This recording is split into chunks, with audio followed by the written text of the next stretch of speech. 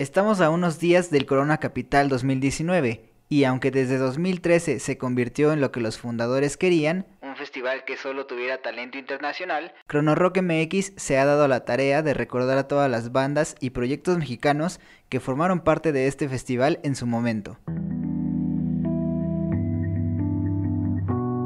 Comenzamos con su primera edición en 2010. Dentro de este cartel que traía a Interpol y Pixies como headliners, estaba la representación mexicana con bandas como Rey Pila, Furlan, Da Punto Beat, Dirty Karma, Chiquita Violenta, Shizatis, 60 Tigres, Lebucherets y Adanowski. Este último es un cachirul porque tiene la doble nacionalidad mexicana y la francesa.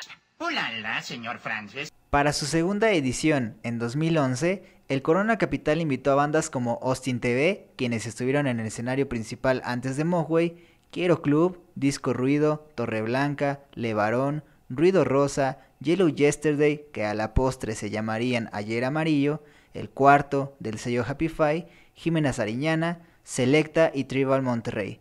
Esta fue una combinación entre Antonio Hernández, mejor conocido como Toy Selecta, también fundador de Control Machete, y aquel grupo regiomontano que le hacía el tribal.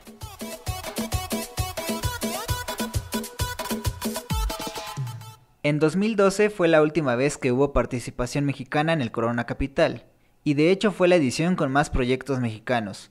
Los invitados fueron León Larregui, vocalista de Zoé que recién había debutado como solista con su disco Solstice, Hello Seahorse, Vicente Gallo, The Wookiees, Bam Bam, Technicolor Fabrics, los Plastic Revolution, los Impostors, Ventilader, los Rayovacs, I Can Chase Dragons, que era otro proyecto de Julio Budiño de los Plastic Revolution, María y José, Buffy, Rebolledo, Memory Man, que era la etapa de DJ de Sergio Acosta, guitarrista de Zoe, y Neon Indian, proyecto liderado por el mexicano Alan Palomo.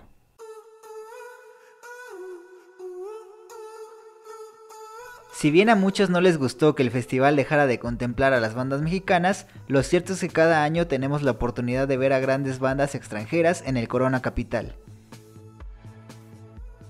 ¿Y tú, extrañas a las bandas mexicanas en el Corona?